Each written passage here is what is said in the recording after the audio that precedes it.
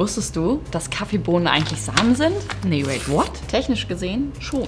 Hätte ich nicht gedacht. Bis zu 60 Tagen nach der Ernte kannst du aus Kaffeebohnen, sorry, Samen, neue Pflanzen züchten. Okay, crazy. Weißt du eigentlich, wer so richtig Ahnung von Kaffee hat? Abgesehen von mir natürlich.